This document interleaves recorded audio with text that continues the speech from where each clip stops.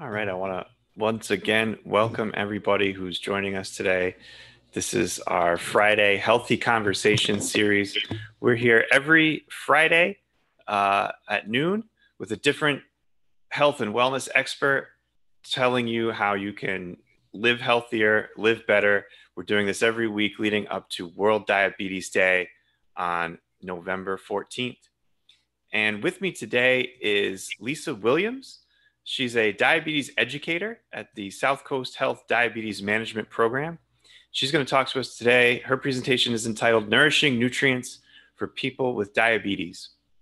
If at any point during our presentation today you have a question you'd like to ask, you can uh, click the Q&A button. If you're with us on Zoom, click the Q&A button at the bottom of your screen, uh, type in your question, or use the chat function to type in your question and we will uh, do our best to answer it throughout the program.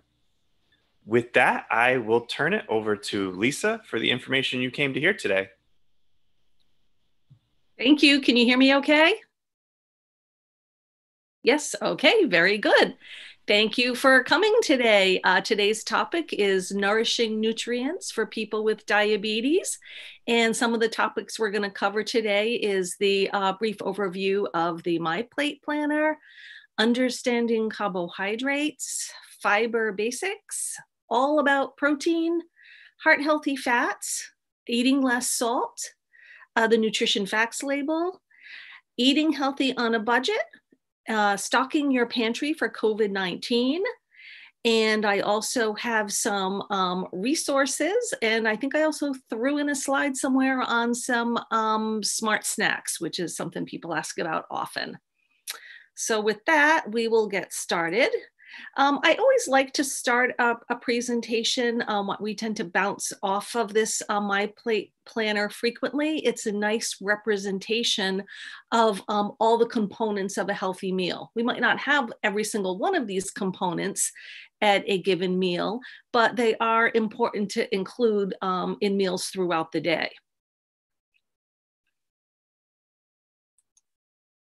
Today, we're going to focus more on the macronutrients. And the macronutrients are the foods that your body needs in larger quantities. And these are the carbohydrates, the proteins, and the fat, as opposed to our micronutrients, which are things like vitamins and minerals that are very important to the body, but your body just needs those in smaller amounts.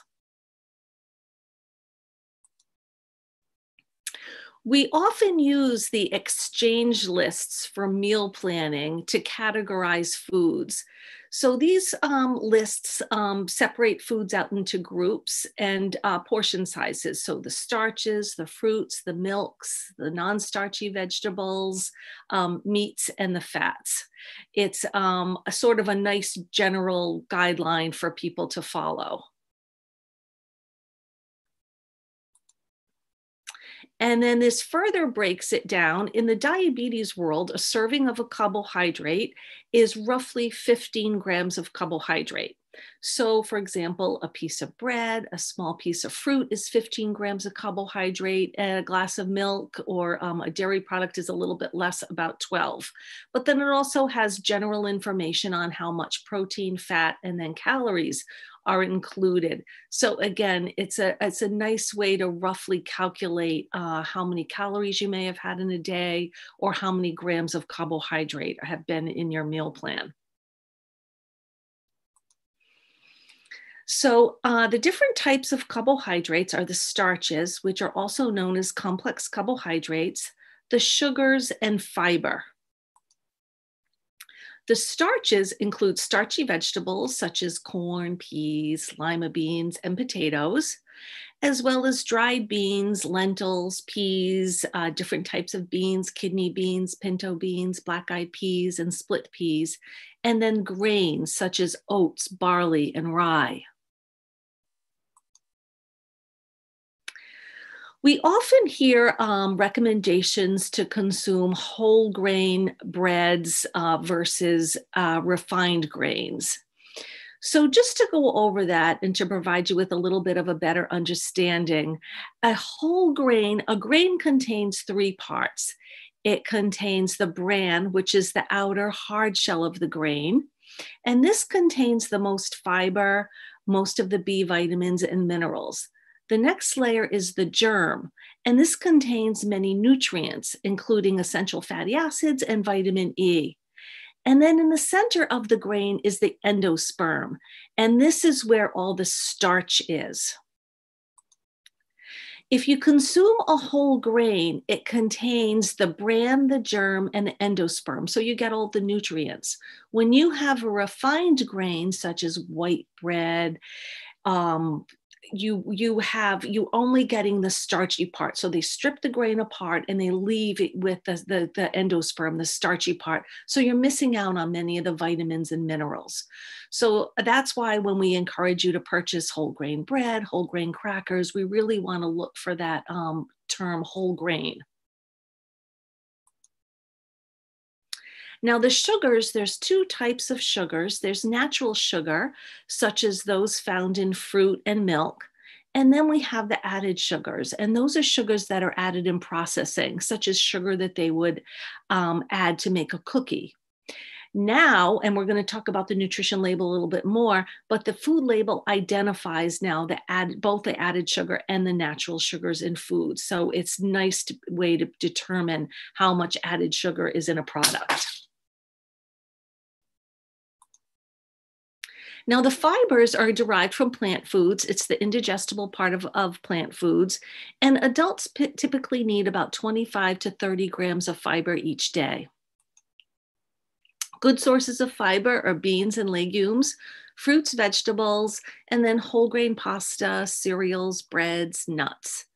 So we really, um, even though we have a guideline for the amount of fiber to have, really a good idea is to try to focus on increasing your consumption of a variety of fruits, vegetables, increasing um, beans and legumes in your meal plan, and then again using the whole grain breads and pastas.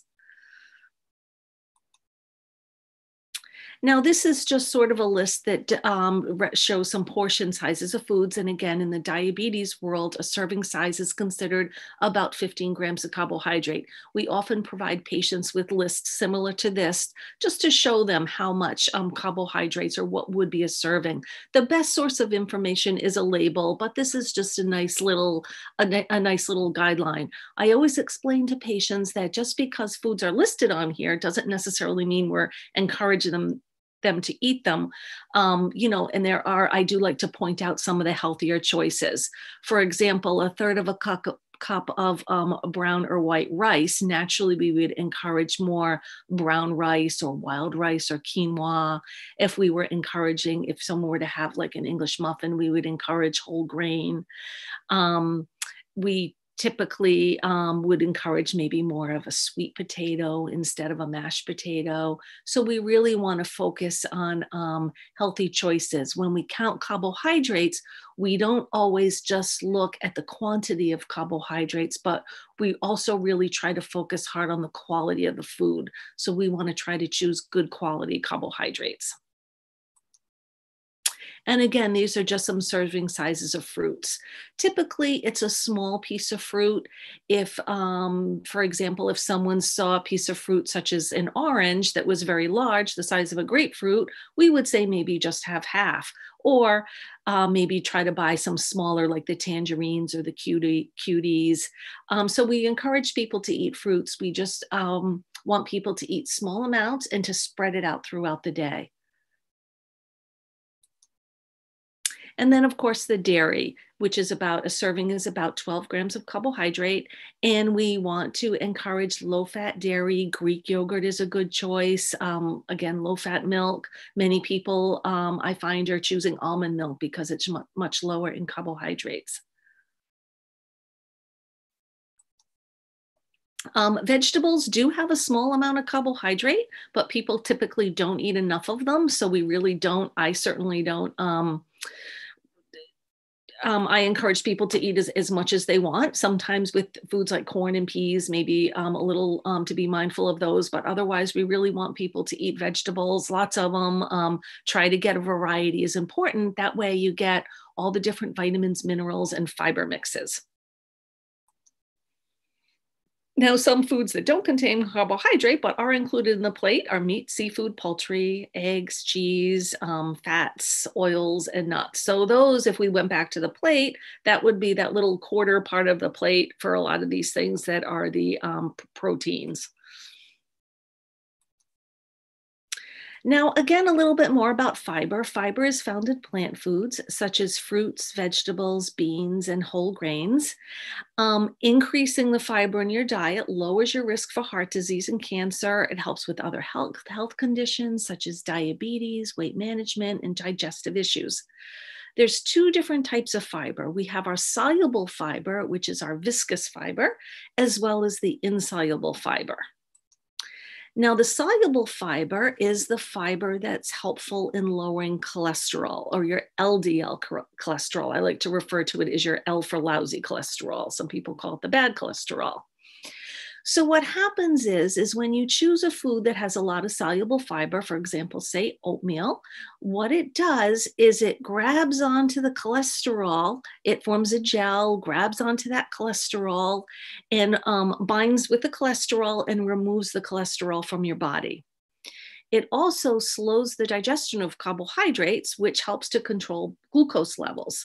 So, for example, when you have a food that's high in fiber, rather than have a quick spike in blood sugar, it kind of slows down the digestion so you have a more, keeps your blood sugar more stable.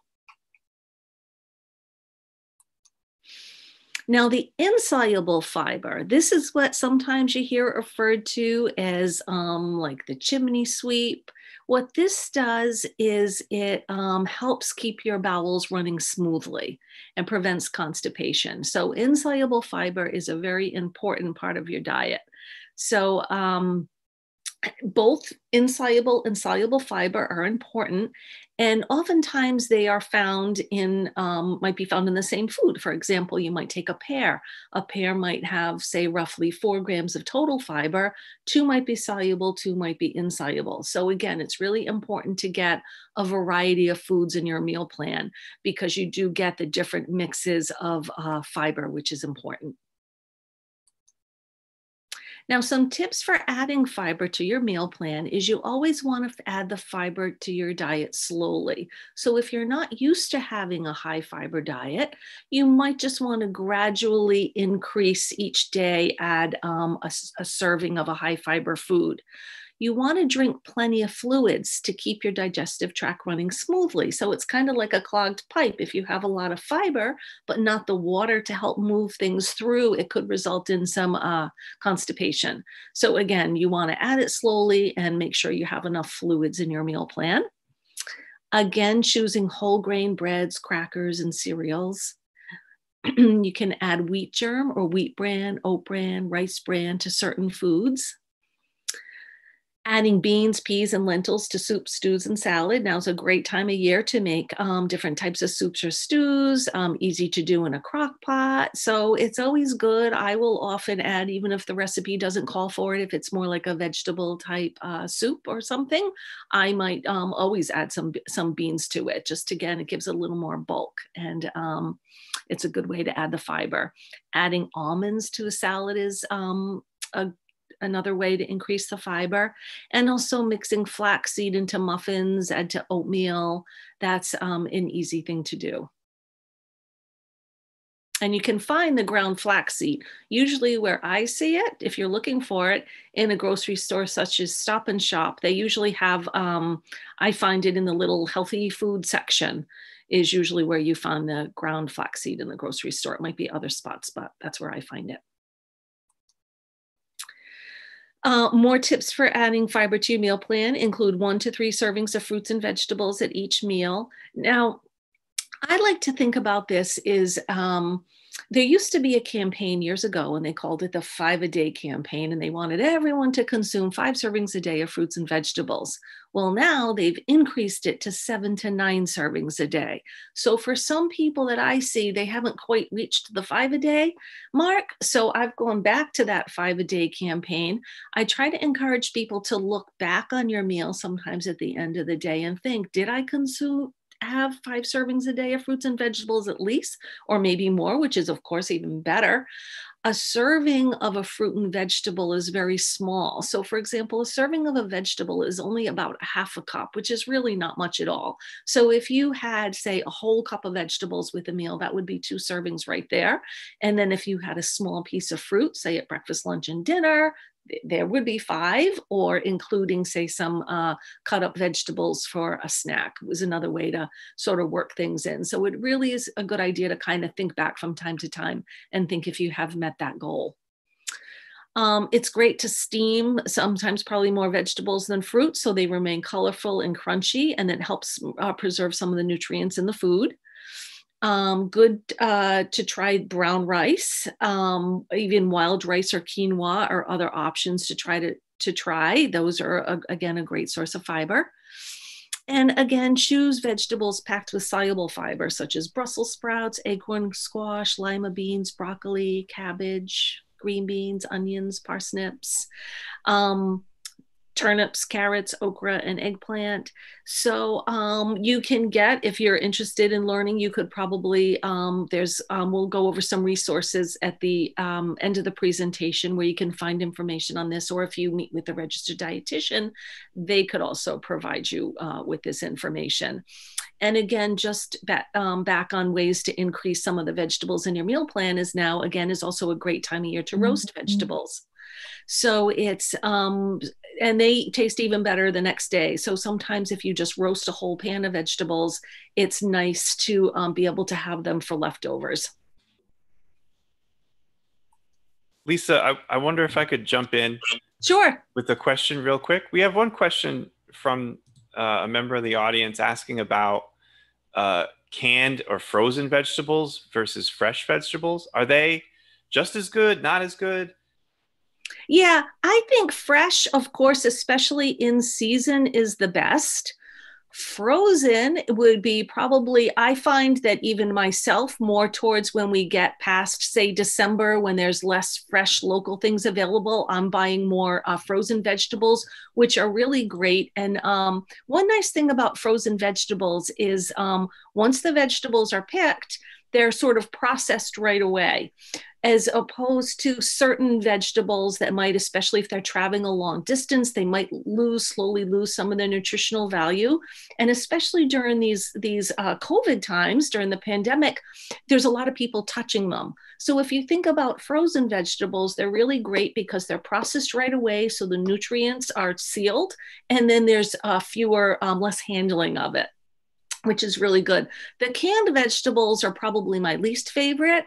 They uh, contain uh, more salt. Um, you can get lower sodium versions, but they kind of sit in water. So it's really um, probably, I mean, it is good. And we're going to talk about the canned and keeping things on hand, especially during uh, times of the pandemic. But I would think that fresh, especially in season, is the best. And then um, probably, yeah, frozen. Of course, it's great. It's great to keep them on hand. They've made them very easy um, to prepare. So it really is a good idea to always have some frozen.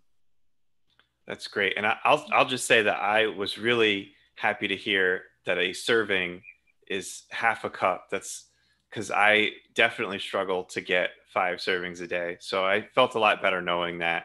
Oh, I'm probably getting I'm probably getting multiple servings in this one meal. Right. Well, that's a good thing.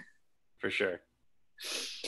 Uh, so the uh, requirements for fi- for fiber vary again for uh, women, men, and based on age. But again, we don't really want you to spend your day counting up every gram of of um, fiber that you include. But again, just thinking back to how many servings you had of, again, the fruits, vegetables, and whole grains is a much easier way to do it. And I would guarantee if you're choosing whole grain um, breads or crackers and eating at minimum of five, if not more, servings of fruits and vegetables, you're going to meet this goal. So don't get too bogged down with the numbers. Okay, now we're going to move on to talk about some protein. So, protein is a nutrient that's needed for cells to grow and repair, as well as build strong muscles. Protein needs vary based on different factors such as age, gender, health status, activity level. Um, for example, someone might need more protein um, during pregnancy, lactation. Uh, children need more protein than adults. Um, somebody might need more protein when they're healing from surgery or after an illness. Um, most Americans get more than enough protein. Um, so protein really for most isn't um, an issue. And what your body, if you have too much protein, your body will um, excrete what, what it doesn't need at that time. So really um, overdoing with the protein isn't, isn't really necessary. Now, protein can come from both animal and plant foods. Some sources of protein are better choices. Many protein rich uh, foods are also high in saturated fat, which increases risk for heart disease.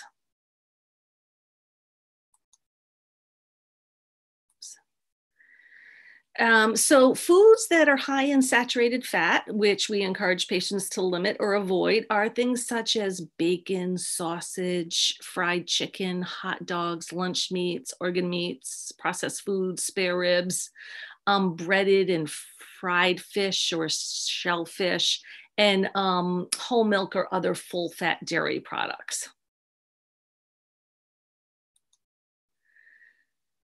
The proteins that are heart healthy that we want people to consume more of that may help improve blood pressure and cholesterol and those are foods such as lean cuts of beef pork loin skinless chicken and turkey uh, fish low fat dairy um, yogurt, milk, cheese, cottage cheese, legumes, nuts and seeds, and um, eggs, of course, which I don't know why is it on this list, um, but eggs are equally um, a great source of protein, very economical, economical. Uh, so we want people to choose healthy sources of protein. And again, similar to what it said on the last slide, sometimes people often ask about eggs. They'll often ask about uh, shellfish like shrimp. Um, but it's not the cholesterol in the food that raises blood cholesterol. They found it's the saturated fat that raises uh, blood cholesterol. So sometimes, even though a food like an egg has cholesterol, it's really oftentimes what we do to it. So, for example, if you had shrimp with a little fresh lemon or maybe a little bit of cocktail sauce, it's different to have just that versus like baked stuffed shrimp, which is oozing with goo and, and butter and bits and pieces. So we really want to focus not only on um, the type of food, but how we prepare it.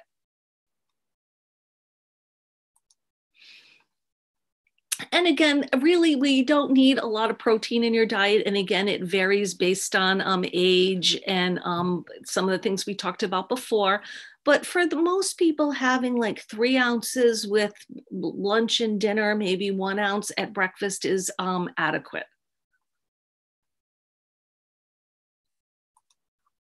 And these are just some examples of um, lean sources of protein.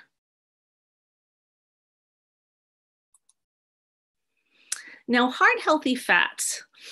Unsaturated fats are considered the healthy fats and have shown to have some positive health benefits the difference in um, unsaturated fats versus saturated fats is saturated fats are solid at room temperature. Think about butter, lard, whereas unsaturated fats are liquid at room temperatures.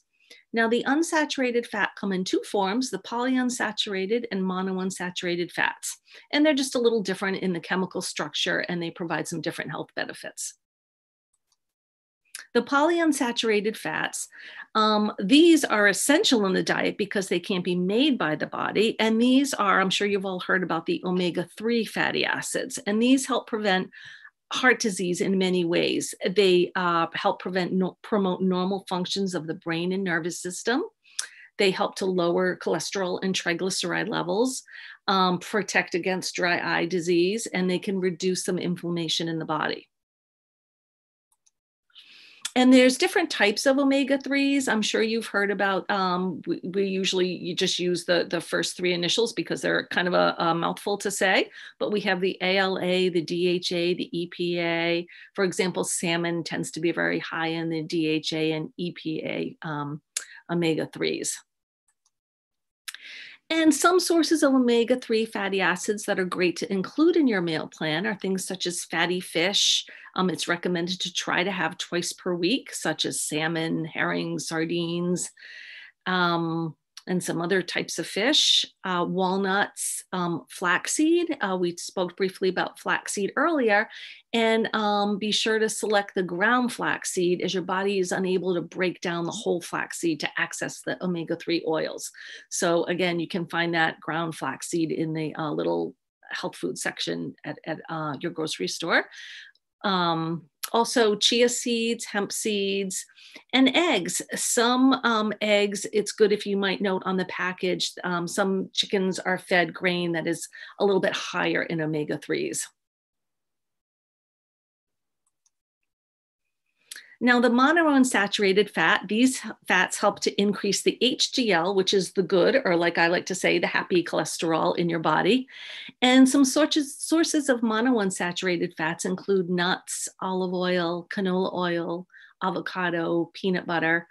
If you're buying peanut butter, it's good to get the natural version. Um, sometimes what they do in processing is they take a perfectly good product like a peanut, but when they go to make it into peanut, butter, they might add some unhealthy fats and some sugar. So the ones that say natural are um, just better choices because they're just adding less things, um, unhealthy things in processing.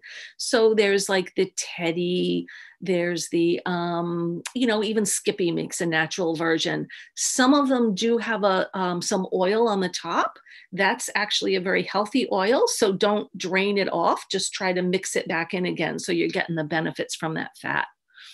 Some of these proteins and healthy fats, such as the peanut butter, the avocado, those are great things to include. Sometimes breakfast can be tough for people with diabetes. We typically don't recommend cold cereals, they um, tend to result in high blood sugars. Um, oatmeal is just about the only cereal I will recommend for most people. Um, but so sometimes avocado or peanut butter on a piece of whole grain um, toast or um, half a whole grain English muffin is a good way to um, get that balance of um, include some healthy fats in, in, in that particular meal. And here's just a picture again of just some um, different types of healthy fats.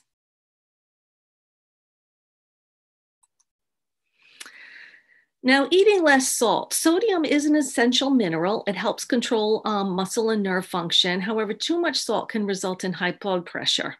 Table salt is a combination of two minerals, sodium and chloride. Now, the uh, in the 2015 to 2020 dietary guidelines, the re recommendation is for um, most people to consume less than 2,300 milligrams of sodium per day, and for some people, even the recommendation is even lower, 1,500 milligrams per day. So, just to give you an example of what that looks like, a teaspoon of salt is about 2,300 um, milligrams of sodium. Some foods naturally contain salt and others have added salt. So, foods that contain the most salt are things like canned soups, again, canned vegetables, frozen dinners, condiments, snack foods, um, chips, crackers, pretzels, processed meats, again, the bacon, sausage, lunch meats, hot dogs, um, and some mixed dishes. So, where you find the most salt is in those processed, packaged, and prepared foods. If you're going to the grocery store and buying mostly fresh frozen vegetables, um, fruit, chicken, fish, more natural foods, then um, you will avoid that added salt. Um, again, if you do um, keep things on hand, which is perfectly fine, everybody has uh, cans of soup and different things on their shelf, just try to get a lower sodium version. At least it might still be a little bit higher in salt even than what might be recommended, but it's at least it's a better choice. So do try to just be mindful of the amount of salt. And another thing to think about with that is with the condiments is that we really try to minimize them. If you've ever bought a new refrigerator or moved, like I did once, and you take everything off the door of your fridge and put it on a counter, it is amazing how much it, it adds up, you know, mustard, relish, ketchups, things like salad dressings. So if you think about it, we really want to minimize those. We want to try to use less, trying to go to use more, say, olive oil and vinegar on salads. um, trying to have less condiments because even though they're enjoyable to add to food, they really offer pretty much no nutritional value. So we really want to try to use them in very small portions and try to have less of them on our taking up space in our fridge.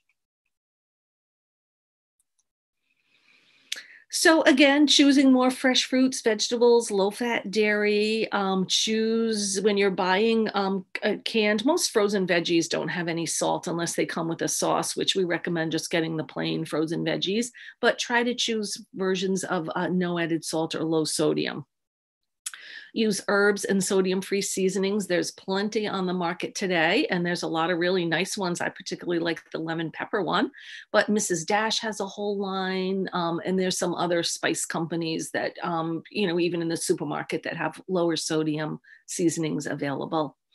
And then again, there are some condiments that you can get um, that are, are will indicate lower salt. and even some that might indicate lower sugar too, if you're looking for that.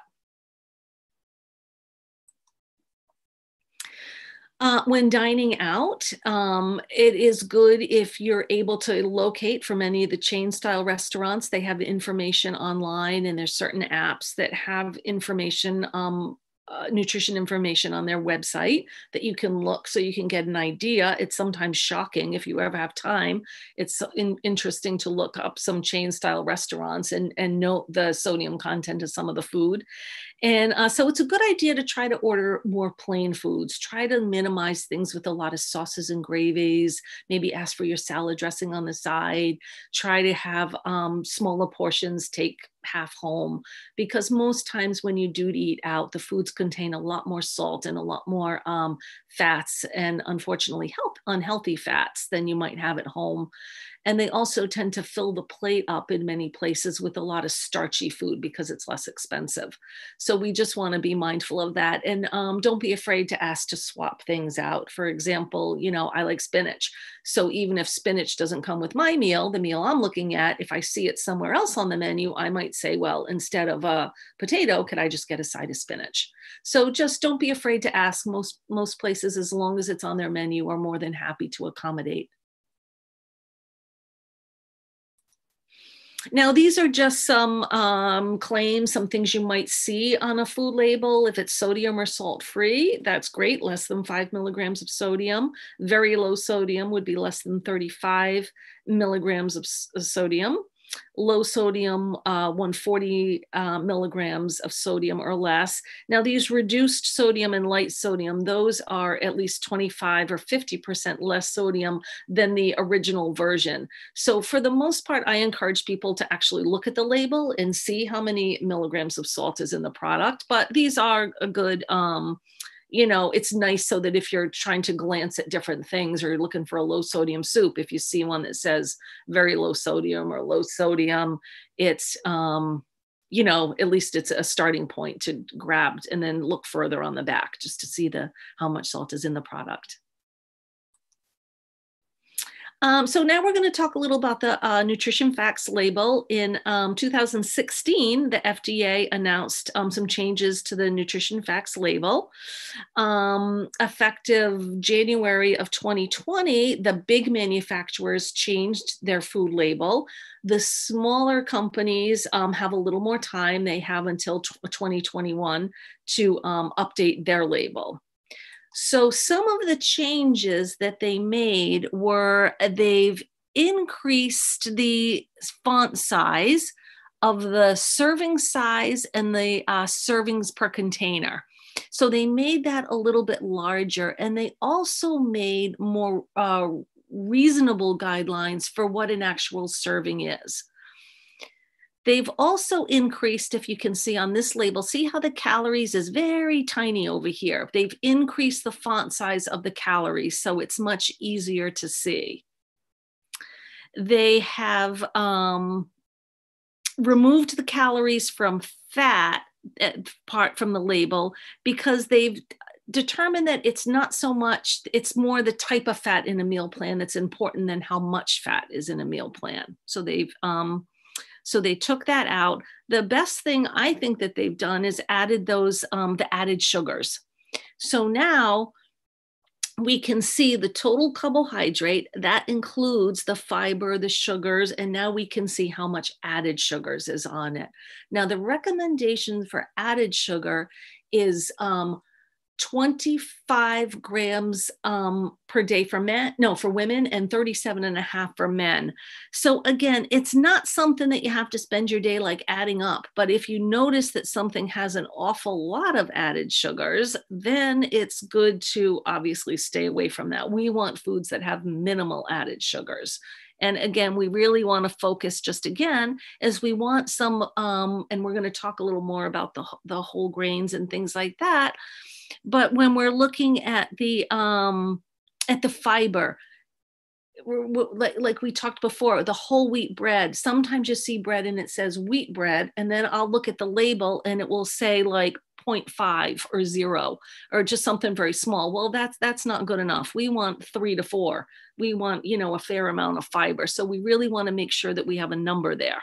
So that's um, tricky too. So be sure to look at the fiber. Some other things I look at again is the sodium. If we're aiming for 2,300 milligrams or less per day, if you see a can of soup has, you know, 990, that's quite a lot that's taken up a lot of your, your sodium. So we really kind of want to glance at some of these um, some of these th- th- things on the on the food label to see what's actually in the product. So a lot of it is a lot of people read the label, but they're not necessarily deciphering it. So we just want to spend a little time deciphering the label when we're um, looking at products. And a great thing to do is start with things you already have at home. So don't feel like you have to go, you know, spend hours in the grocery store. Maybe look at some things you have in your um, pantry already and then you might say, oh, this has a lot of salt. Let me look and see when I go to the grocery store if I can find something a little better.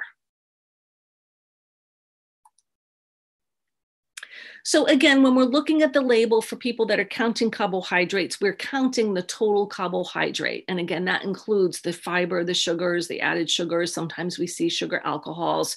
So it's the total grams of carbohydrates that we're looking at for people that are carb counting. And again, just to be mindful too, labels um, can be um, off in either direction by they're allowed roughly 20%. So it might always not be 100% accurate. So now just to shift to tips for eating on a budget. Um, sometimes making food, healthy food choices while trying to stick to a budget can be difficult.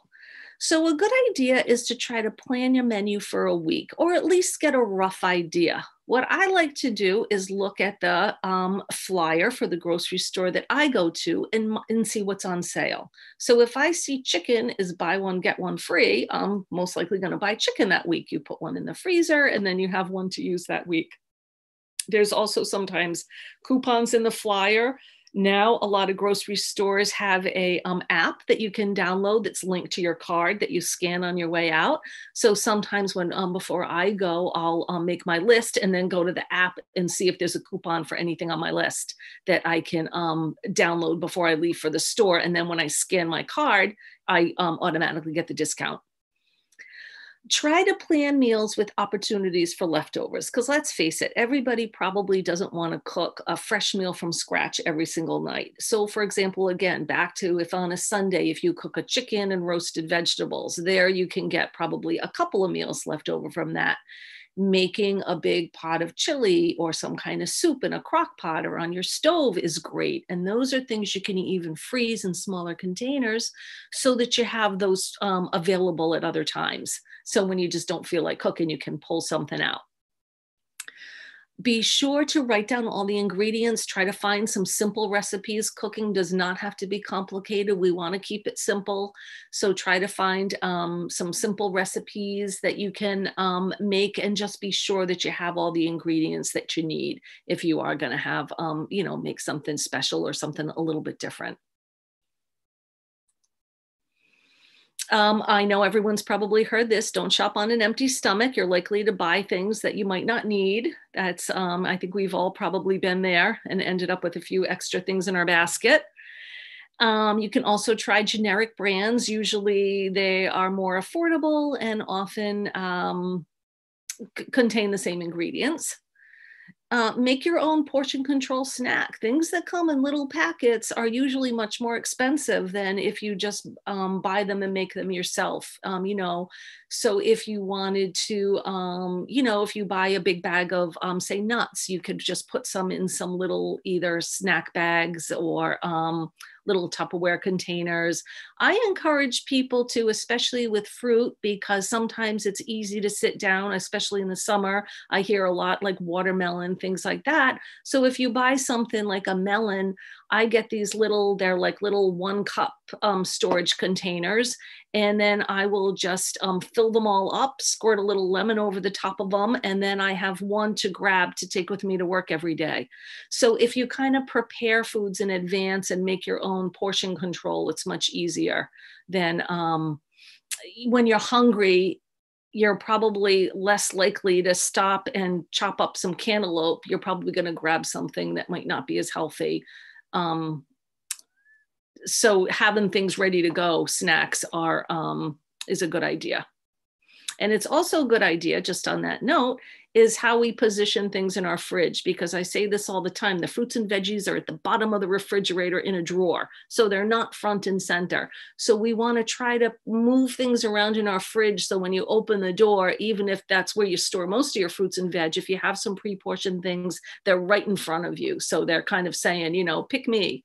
So we really want to try to um, have things readily available and try to keep maybe some of the unhealthy stuff in the back or in, in an out of the way cabinet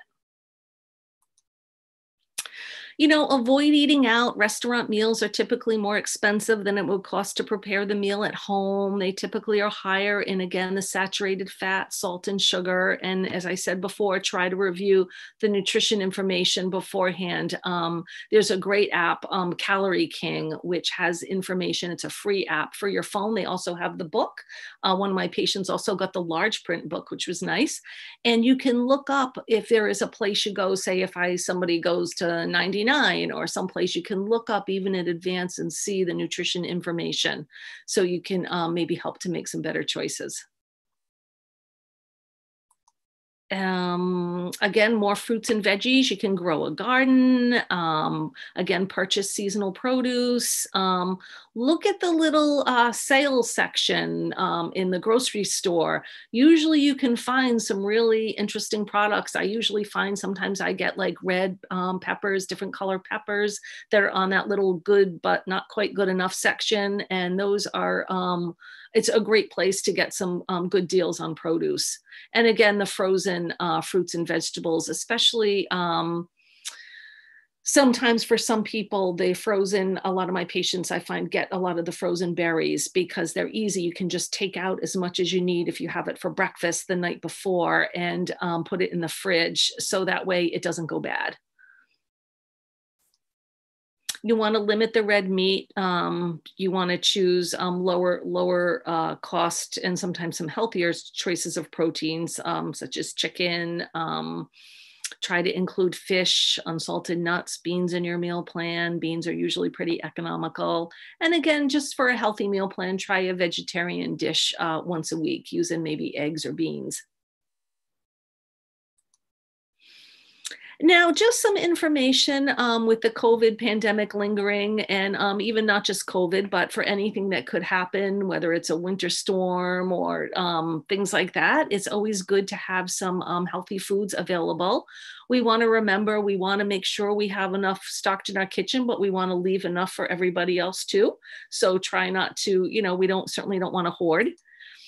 Um, it's a good idea to take an inventory of what you already have because sometimes if you're not prepared or if you don't look and see what you have you're going to end up with 100 cans of tuna fish or something that you keep buying because you forget if you already have it. I've done that myself. So we want to try to take inventory of what we have. We want to look at expiration dates try to use up things that might be approaching expiration dates. Um, use the older foods first. Um, Another good thing to remember is foods that are in the freezer. Just because it's in the freezer doesn't mean it lasts forever. So even frozen foods have a shelf life. I try to get some stickers or something, something to label the date. I do that in my fridge too with things like salsa, because how often do you eat a little bit of something and then think, when did we open that salsa? So I write, I keep a Sharpie right in my kitchen. And if I open up a tomato sauce or salsa or just anything, I just quickly write the date that I opened it so I can tell right away how long it's been there. So we do want to use up things in our freezer. those stuff that's kind of lurk in the back that you don't know what's in that foil packet. Try to um, try to go through that stuff and use it up and rotate things around there, and then make a list of um, shelf stable foods to take to the grocery store this is just a copy of something that's offered. You can get downloaded on the uh, diabetes website, but it is kind of a nice little um, grocery list or a good guideline to um, uh, for things to keep on hand, um, or you can make your own.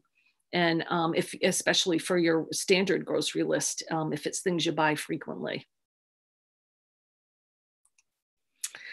Um, oh, I just threw this in here because people often ask about snacking. So just some good healthy snacks. Um, people get tired of certain things. So cut up veggies with either guacamole, hummus, or cottage cheese, uh, roasted pumpkin seeds, um, the skinny pop original popcorn. Those come in large bags and pre-portioned packets um, cocoa um, almonds that are dusted in cocoa. Um, some of my patients have also been talking to me about the salt and vinegar almonds, um, which they seem to be enjoying. Um, some there's a lot of there's various um, health bars that are that are okay. This is just one. The RX bar for kids is a little bit smaller. The kind bars are a good choice, and those also come in the snack size now and for people in the summertime that are um, desiring like a frozen dessert those yasso frozen yogurt bars are pretty good they're nice and creamy and you know are um, it's easy to stick to a serving size So again, more on stocking your pantry. Again, trying to get more shelf-stable fruit. Apples tend to last a long time. Those cuties, mandarins, um, oranges tend to last a while, frozen fruit, uh, keep canned or dried beans on hand, the lower salt canned vegetables, um, some rice, quinoa, um, brown rice, wild rice, things like that are good to always have on hand. Um, not a bad idea to keep pouches or cans of chicken or fish nut seeds, nuts, butters. Um, be sure to have, um, you know, a good supply of olive oil, canola oil, vegetable oil, and of course, some dried herbs and spices. Some resources. So I did see on the Rhode to Wellness Facebook page that if you scroll over to there's a files tab, there's um, some nice little PDFs on uh, nutrition. That is one place you can look the American Diabetes website, uh, diabetes.org, they have, if you look on the left hand column, there is a nutrition section, and the Diabetes Food Hub is a great place to look for recipes. There's also on that same page is some links for like the diabetes forecast and diabetes self management um, these are magazines, but you don't have to get the magazines to, you can access them through the ADA website. And there's good recipes on these two as well. I will say the magazines are pretty uh, inexpensive and um, they have a lot of good tips in them. Sometimes they send me a promotional version and I will say I enjoy reading them. They're pretty light reading and they have a lot of good recipes and just tips in general. So you can check them out on the um, ADA website. And I think it's only sometimes like a dollar an issue to subscribe. They uh, ADA also has a um, free like brochure you can order from their website. It's where do I begin living with type two diabetes. They have a beautiful My Plate planner section in there, and um, I think they send you some other you know promotional information. If you are looking for a low carb diet, the Diet Doctor is a good site. They have a lot of good recipes for a lower carb meal plan. And then, of course, if you're looking for more information on the plate, it is uh, choosemyplate.gov has a lot of, again, good recipes and resources for meal planning. And then just some apps. There's lots of apps. These are just a few. Again, I usually encourage my patients to download Calorie King. a lot of patients like MyFitnessPal to track um, uh, calories. Uh, is one um, app that is a visual. So it sort of shows you what is a small, medium, large portion of food. So if you're a visual person, the Figwee app is a good app. There is also some other apps that help for um, blood sugar, meal planning, and um, you know insulin um, administration. So there's some other apps for that. Fooducate is another one, and this is one that you can, I think MyFitnessPal as well, you can actually scan a barcode for nutrition information. So um, Fooducate, what they do is you scan the product and then it sort of gives it a grade and it says, you know, like say A, this is a great product, or like maybe D, not such a great choice. So that's kind of interesting too. So those are just some good apps. I suggest people just download a bunch of apps and see which ones you like. Most of them are free. Some of them, if you pay a little more, you get a, a, a little a little more from it. But most of the free stuff is fine. And then keep the ones you like. So with that, thank you for attending this program. And um, if you have any further questions, now's the time. All right, awesome. Thank you, Lisa. Uh, we have a couple of questions actually. Oh, okay. One is how uh, how do you feel about cooking with coconut oil versus olive oil? Yeah, coconut oil probably is a little bit more in saturated fat, so probably olive oil would be a better choice. Yeah, and we uh, we also have a question about if this will be available for viewing later, and I'll I'll let you know. Yes, it will. Um, this will be on the RIPIN YouTube channel, and I will type the link into the chat so you can see it in just a second. But then, one other question we have for Lisa: um, What do you think of the keto diet for diabetics? Right. So the low carb diet is definitely now um, um, recognized and, and for people with diabetes. I'm not sure it's is going into ketosis is probably i suggest to patients that following a low carb diet can be very very beneficial and can help with weight management as well as blood sugar control. So i think there's a little bit of a difference. So i do think that you can have eat have a healthy meal plan and uh, you know reduce your carbs. I do think it's a good idea to kind of introduce some back because carbohydrate foods provide a lot of good nutrition. So i don't want people to um to completely cut out, say, fruits or you know whole grains because they do provide a lot of um, benefits but we just want to try to minimize them and make healthy choices. So i do agree that a very low carb diet can be of a benefit for uh, weight management and diabetes. Awesome. Interesting. Well lisa i want to thank you. That was an excellent presentation. Thank you. Lots of good information uh, and i want to thank our audience for joining us today. As I said, we will be doing this every Friday uh, at noon. We'll have a different health wellness expert uh, presenting every week. We're going to be doing this up until World Diabetes Day on Saturday, November 14th. And you can learn more about Rhode Island World Diabetes Day and the Rhode to Wellness 2020 program at riwdd.org. So thanks again, everybody, for joining us and enjoy the rest of your afternoon. Thank you.